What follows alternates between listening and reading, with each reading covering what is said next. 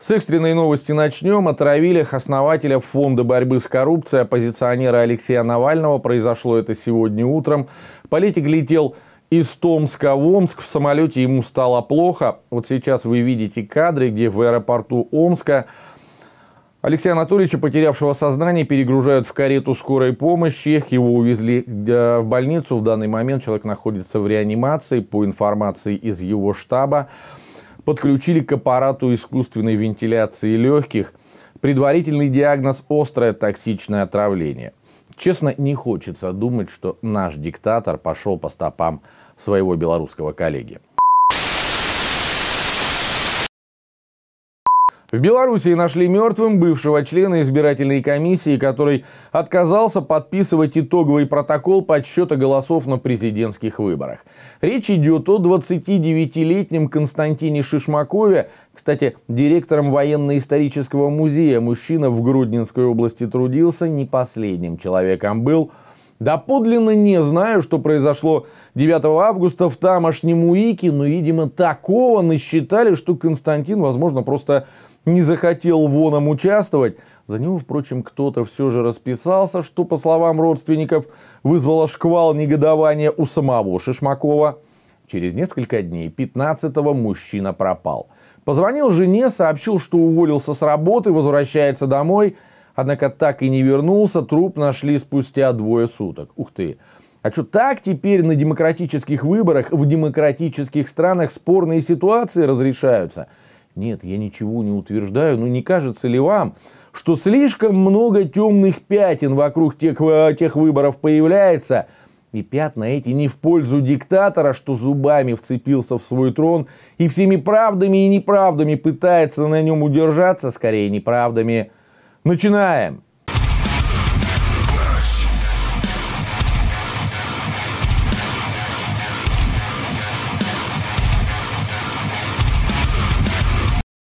Знаете, на самом деле мне очень хочется, чтобы вот эту вот мою программу увидели не мои зрители, а те зазомбированные наглухо телевизором люди, которые ни черта о ситуации в Беларуси не знают и даже не пытаются узнать.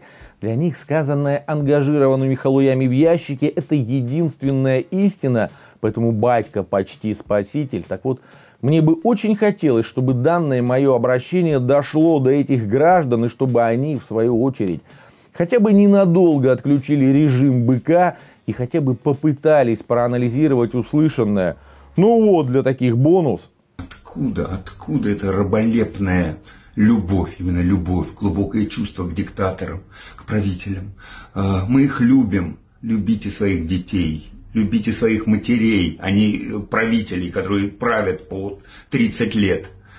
А, вопрос, а кто будет потом? Вы хотите Майдан? Нет. А, я хочу, чтобы был закон, который правил страной, как это в цивилизованных странах происходит. Вы знаете, что в Бельгии, в Швейцарии люди не знают, как зовут их премьер-министра, потому что это не важно, это чиновник, а не бог. А еще меня пугает, и россиянам, к слову, эта история присуща, может быть, даже в большей степени, чем белорусам, народ начал привыкать к скотскому отношению к себе, Избили несогласных с политикой партии и правительства, правильно избили, ибо нечего на начальство гавкать. Посадили кого-то за какую-то ерунду, за репост в соцсетях на 5 лет, пятерку, как матерому уголовнику человеку впаяли. Толпа, так ему и надо, а то развели, понимаешь, либерастию, пишут в своих интернетах, что попало. Интернет они, ставят, интернет. Он нам нахуй не нужен интернет ваш. А вот это вообще из свежего меня прямо лихорадило, когда данная новость прилетела. Помните, года два назад пранкеры из Перми привязали к столбу в центре города куклу с лицом, похожим на лицо нашего президента, табличку повесили с надписью «Лжец, военный преступник».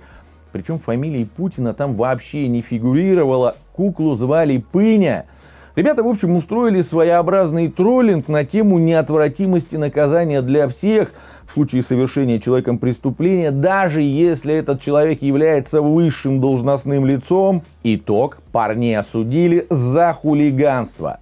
В начале недели огласили приговор. Один получил год условно плюс год испытательного срока, второй вообще в колонию на два года поехал. У меня вопрос. За что? За что? Вот дабы вам было понятнее, знаете, за какие преступления также два года предусмотрено? Просвещаю. Причинение смерти по неосторожности, нанесение тяжких телесных повреждений, угроза убийством, побои, похищение человека, а еще кража, мошенничество.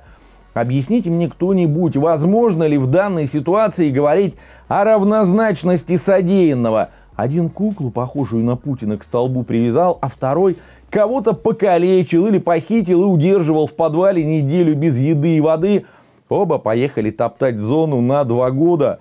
В голове не укладывается. Кстати, вот дети у меня во дворе снеговиков лепят зимой. Тоже на пару лет за решетку их отправлять давайте.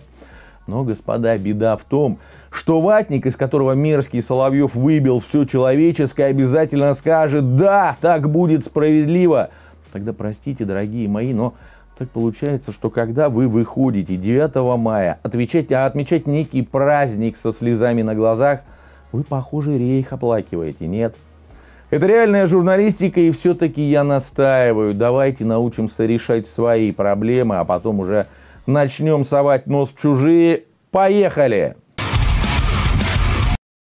А следующую тему я поднимал в одном из предыдущих выпусков, но она неожиданно для меня получила продолжение. Причем не в плане того, что чиновники ситуацию усугубили. Я обалдел от, простите, тупости наших граждан, которые начали все это дело комментировать и в конце концов перевернули историю с ног на голову. Итак, Правительство России направило 10 миллионов долларов на организацию питания для школьников Кубы и Никарагуа. Почти миллиард рублей. В то же время для российских школьников на то же питание Правительство потратит 22 миллиарда, и этих денег хватит лишь на учеников в начальных классах. Ой, что началось. А в чем проблема-то? Ну, нашим же дали. И дали гораздо больше, чем чужим. В чем твое недовольство? Ну, если люди так и не поняли, хорошо. Как соплякам давайте разжую еще раз. Нач, наши чинуши выделяют деньги на детские обеды в школах. Этих денег хватает только на самых маленьких, для учащихся первых-четвертых классах. Видимо, пятиклассники и старше уже есть не хотят или способны сами зарабатывать. Впрочем, истинная причина явно не в этом. Просто денег нет. Значит, будем, найдем деньги, найдем деньги, сделаем это. Вот именно. Зато на чужих детей деньги есть. Раз и нашелся почти ярд. Нам же его больше не на что потратить. Кстати, сюда же давайте тоже включим. Мэр Вологды предложил депутатам отказаться от обязательного ношения школьной формы детьми из-за нищеты родителей, которые просто не в состоянии позволить себе эту форму покупать. Анекдот, блин, дожили. А Владимир Владимирович в это время десятками миллионов долларов разбрасывается, чужим ребятишкам помогает. И эта его инициатива находит положительный отклик в обществе. Рабы аплодируют. Дурдом. Скажите, что вы сейчас видите из этого кабинета? Вы знаете,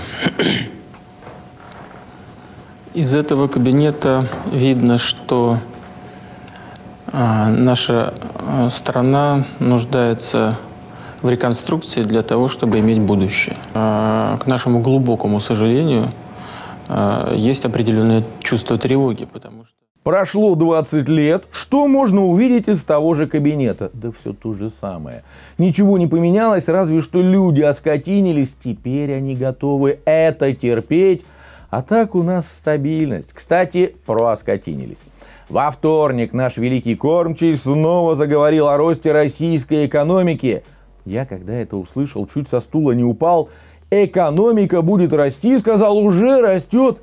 Слушайте, это либо уже старческая, либо совсем нас за идиотов считают. О каком росте экономики можно говорить? Нам в пору караул кричать.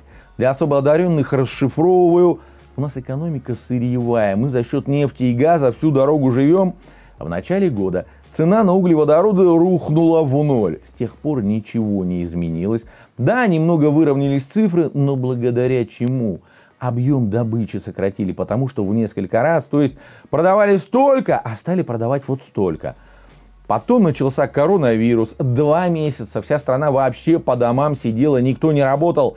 В мае гайки чуть ослабили, но совсем чуть-чуть. Малый бизнес, всякие ресторанчики, магазинчики, бутики, торговые центры полноценно начали функционировать. Вот, три дня назад, с 18 августа, и то не везде, промышленность стоит по сей день, границы закрыты. То есть еще раз, страна полгода не работает, а экономика каким-то образом растет. Человек в своем уме вообще лопотать такое Впрочем, я уверен, среднестатистический телезритель, простите, россиянин со мной не согласится. Они же в любой бред Главнюка верят. Мне страшно становится, друзья. В кого у нас людей уже превратили? В приматов? А впрочем, вам решать, как говорит один мой коллега, быть или... Или идите лучше в соцсети, залезьте, позырьте, чем там, что там в Беларуси происходит. Мы же страна вуайеристов и Вечного дома 2. Все. Это была реальная журналистика. Дальше сами все знаете. Ссылка на YouTube страничку сверху. Подписывайтесь. В соцсетях тоже жду. В друзья добавляйтесь, темы предлагайте, поднимем и обсудим. А я за сим спешу откланяться пока. Пока!